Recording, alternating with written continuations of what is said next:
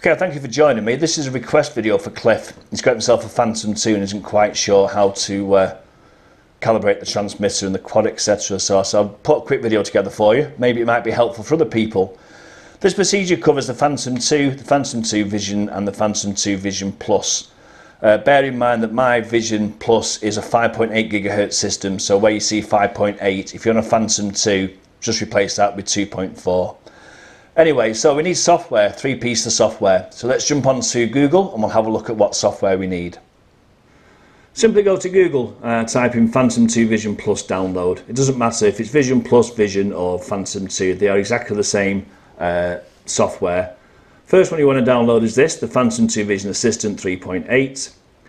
You also need to download the RC Assistant here, and you also need to download the DJI WinDriver uh, installer package as well. That's the USB driver because these are classed as USB devices. Once you've done that, you need to install the driver first of all. Um, just run the setup for it. You'll get a prompt for Connect MC. Uh, that's master controller or the quad. So plug the quad into the little socket at the front underneath the Phantom sign. Plug it into your computer and power it on. The driver will install. If you have issues installing the driver, um, just Google search. There's lots of pages about how to install the driver for it. Once that's done, we're good to go. So let's move on with calibrating the controller itself to start with. This is the remote control we're going to calibrate. As you can see, the wire plugs in the bottom. If you have got the earlier P2 version, the controller is actually on the board. Uh, you need to take the four screws out and plug the wire into there. Uh, hopefully you've got this one or you've got the one that's similar to it anyway. First things then you need to do uh, is plug this into the computer, like so. You get the orange light on it, power it on. Okay, so you got that and you got that.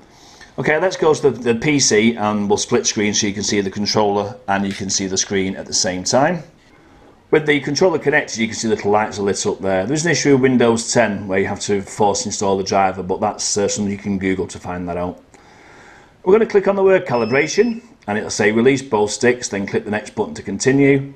Click on next, now we're going to swirl the sticks in a circular motion several times to reach their limits. As you can see, swirling the sticks. Okay, with the sticks been swirled several times, don't click finish just yet. If you've got one of these upgraded controllers, spin the wheel at the side several times, back and forth, fully all the way, let go of it, and then click on finish. Okay, that is it, that is done. That's how you calibrate the RC, simple and as easy as that. Going to move on now to the quad and calibrating the transmitter with the quad. So for this purpose, we're going to use this Phantom 2 Vision that I just happily uh, have on the table here to calibrate with. Dead simple, lift up the flap where you plugged in earlier, plug in your lead, make sure it goes the right way when it goes in one way. And of course, like any USB, you can never get it to go in the way you want it to go in the first time. Uh, wide parts to the top, there we go. Okay, put that to one side and plug that into your laptop. And then you're going to power it on. Make sure you take off any gimbal clamps if it's a Phantom 2 Vision. Okay, let's go over to the laptop. As you can see, I've got mode, failsafe, etc. And I've got all these tabs across the top. Uh, quick look through while we're here. View gives you all the information about your quad aircraft type mounting, etc. Basic tab has your mounting, your RC and your gain settings. Advanced has your failsafe settings, your IOC settings, your battery and your limits, which I'll cover in a little minute. Tools, check your IMU status. Upgrade lets you upgrade any latest firmware and info basically just tells you who's logged in. We're going to go to basic and we're going to click on RC. We're going to calibrate in here. As you can see there's a transmitter version, an upgrade or a basic. If you've got the wheel like I've got it's the upgrade version. Don't worry about these at the bottom, they're not relevant to start with. So let's go back to the split screen. Uh, I've got the controller here in front of me. Um, what you're going to do is you're going to click on the word start there's no prompt this time, you just simply swirl the sticks as it says there like that. Click on finish and you get a box that says release all sticks etc. There's one more calibration and that's for the wheel. Yes, there's a separate calibration for the wheel. You have to click on start and then move the wheel back and forth just a few times like that and then click on finish.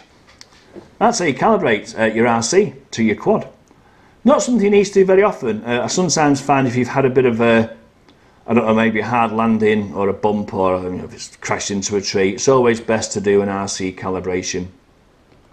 So let's have a quick look in view your, your basic mounting locations, things. There's not much really you can do in this one. Basic tab has your mounting. Uh, if you This is for if you build your own, which you've not done, so you can ignore that.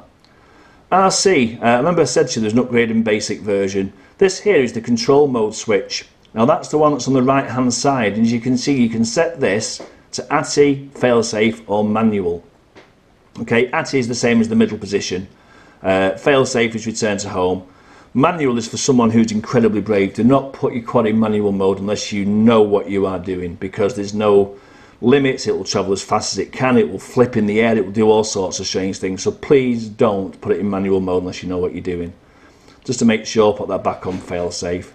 Gains, something you don't really need to touch, but just occasionally click on default and set them back to defaults. Uh, the advanced tab, fail safe. You've got a choice. You can either land or you can go home and land. Go home and landing is the preferred option, unless there's any reason why you don't want it to be. IOC is Intelligent Orientation Control. That's the switch that's on the left. Now that's only available this if you're in NAZA-M mode, and I'll show you that in a second. Uh, top is home lock, bottom is course lock, and top is, uh, sorry, top position is off, middle is course lock, and bottom is home lock.